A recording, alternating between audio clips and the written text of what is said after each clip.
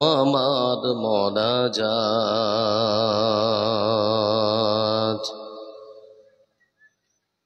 আদরে আদরে প্রভু, ডাকি গত কত যে করেছি ভুল প্রভু পারি। আদরে প্রভু, ডাকি গত মায় আমি, শোনো আমার মনাজাত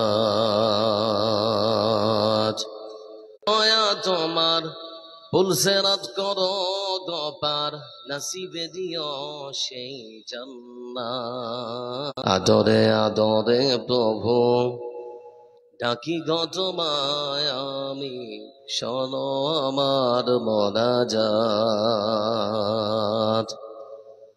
আদরে আদরে প্রভু, ডাকি গত আমি শোনো আমার মনাজাত।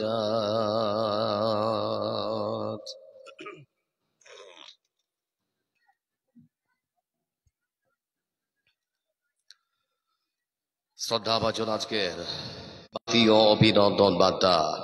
প্রশংসার মালিককে। ঘুম লেগেছে নাকি?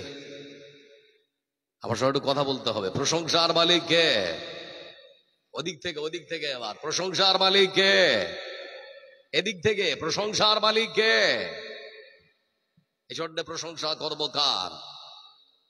সুখের সময় প্রশংসা হবে কার? আর দুঃখের সময় প্রশংসা করবেন কার? কথা বলতে অভ্যস্ত নন আপনারা নাকি? বিড়ি খাওয়ার শেষে প্রশংসা করতে হয় কার? আল্লাহ বারিক লানা ফিমা বিড়ি টানা নাকি? প্রশংসা সেই সুবহান আল্লাহ রাব্বুল আলামিনের জন্য, যার হাতে রয়েছে কচ্ছত্র আধিপত্যের মালিকানা, যারা দেশে সূর্য অস্ত যায়। যে মহান সত্য আল্লাহ রাব্বুল আলামিন বিশ্ব মানবতাকে সৃষ্টি করে ছেড়ে দেননি, বরং অসংখ্য অগণন নিয়ামত দিয়ে সারা পৃথিবীকে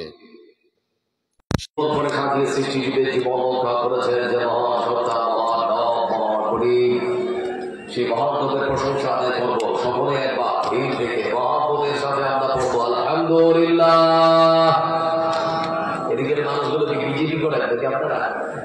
আপনারা বিজেপি করেন দেখি? কিছু বলছেন না? আমরা ক্রিকেট খেলা হাকিকাত হলো ব্যাট আর বলের কম্পিটিশন কোনো ছেলে বল করবে আর ছজনে বেটে বলে আঘাত করে বলটাকে যদি বাইরে চার আর দর্শক তখন চার আর ছক্কা বলে চিৎকার করে। বসে থাকা মানুষের কোনো ধারণা আছে, সেই চিৎকারে দেখি হলে হতেও পারে, দেখি? দেখি হবে? আদিসে শব্দ এসেছে কেউ আল্লাহ প্রশংসা আদায় করছে কেউ যদি আলহামদুলিল্লাহ বলে, আল্লাহ সে বান্দা আমাদের গাড়ি পাল্লাকে নেকি দিয়ে পরিপূর্ণ করে দেবে, ভক্তি করে দেবে। তাহলে আলহামদুলিল্লাহ যদি বলি, তাহলে আছে আরেকবার আল্লাহ প্রশংসা আদায় করব সাথে আলহামদুলিল্লাহ।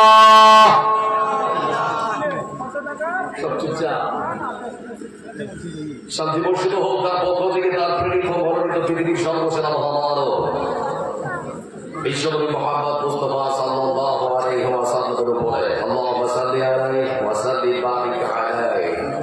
আপনাদের অনেকের কাছে চেনা কাছে গেছে, বুঝতে পারছেন তো? মানে প্রতি রাত্রে চলছে, ঘরটা একটু গেছে চেষ্টা করব। খুব সহজ বাংলা ভাষা আপনাদের সাথে বোঝানোর চেষ্টা করব। আজকে সংক্ষিপ্ত বিবরণে আমরা শুনব কোরআনের সত্যতা সম্পর্কে কিছু কথা, যা বর্তমান সময় অতীব জরুরি। সেজন্য আজকের বিষয় কোরআন সম্পর্কিত কিছু তথ্য এবং কোরআনের সত্যতা সম্পর্কে কিছু কথা আলোচনা করব আপনাদের সামনে। আল্লাহ যেন আমাকে ক্ষমতা দেয় আপনারা দোয়া করুন, একবার বলুন আল্লাহ আমিন। কেমন আছেন আপনারা? আমি জোরে বলি আরে ভাই, জিজ্ঞেস করছি, কেমন আছেন?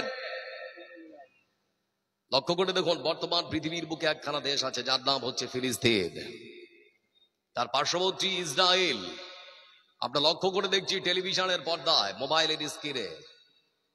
স্ত্রীর চিন্তা ভাবনা আপনার সন্তানকে নিয়ে একরকম, কিন্তু সেখানকার মায়েদের চিন্তা ভাবনা তাদের সন্তানকে নিয়ে সম্পূর্ণ আলাদা। আমার স্ত্রী আমার সন্তানকে নিয়ে চিন্তা করছে, আমার সন্তান খেয়ে পড়ে বাঁচবে কেমন করে, সকালবেলা খাবে কি? দুপুরে কিছু একটা হবে, রাত্রেবেলা আর একটা কিছু হয়ে যাবে মনে হয়। কিন্তু সেখানকার মায়েদের চিন্তা ভাবনা কি জানেন? বোমার আঘাত। আমার বাচ্চার আধো ছেড়া হাতটা আর পাটা শরীরের সঙ্গে নতুন করে জোড়া লাগবে কেমন করে? আমরা চিন্তা করছি আমাদের সন্তানদের দিয়ে আমার সন্তান খেয়ে পড়ে বাঁচবে কেমন করে? আর সেখানকার মায়েরা চিন্তা ভাবনা করছে, আমার সন্তানের আধু ছেড়া হাতটা আর পাটা শরীরের সঙ্গে নতুন করে জড়া লাগবে কেমন করে? স্যার, আমার মাথার উপরে যুদ্ধ বিমান থাকতে পারে। সেই বিমানের উপরে আরেকজন মহান সত্য আল্লাহ রাব্বুল আলামিন আছেন, যিনি আমার মালিক। আমার মালিক যদি আমাকে রক্ষা করতে চান যুদ্ধ বিমান আমার কোনো ক্ষতি করতে পারে না। এই ইমান এখনও পর্যন্ত ফিলিস্তিনের ছোট্ট ছোট্ট বাচ্চার অঞ্চলের মধ্যে রয়েছে। এই জন্য বন্ধু আমার, আমি বিশ্বাস করি পৃথিবীর বুকে কোন বিচারক, পৃথিবীর বুকে কোন আদালত, কোন ট্রাইব্যুনাল বর্তমান পৃথিবীর সব থেকে স্বৈরাচারী শাসকের বিচার যদি নাও করে, আল্লাহর আদালতের একদিন না একদিন বিচার হবেই হবে ইনশাআল্লাহ। চলে বলি ইনশাআল্লাহ। আল্লাহর আদালতে ছাড় পাবে? এরা বলি, ছাড় পাবে? কখনো ছাড় পেতে পারে না। এজন্য যারা বসে আছে, আজকের কোরআনের সত্যতা সম্পর্কে কিছু আপনাদের সামনে আলোচনা করব। বন্ধু আমার, কোরআন এক আশ্চর্য ধরনের ধর্মগ্রন্থ। এর ভাষা, এর সাহিত্য, এর লালিত্য, এর রচনা শৈলী, এর গতি, তার নাম কি?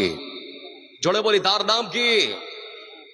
পৃথিবীর বুকে যে গ্রন্থের বিক্রি সব থেকে বেশি, তার নাম কি? পৃথিবীর বুকে যে গ্রন্থের সতা সব থেকে বেশি, তার নাম কি? কোরআন। এজন্য বলতে চাচ্ছি বন্ধু, আমার কোরআন ছিল, কোরআন আছে, কোরআন থাকবে, যারা মিটাতে আসবে আল্লাহ। কে তিনি গান গাইতে গাইতে মৃত্যুবরণ করলেন।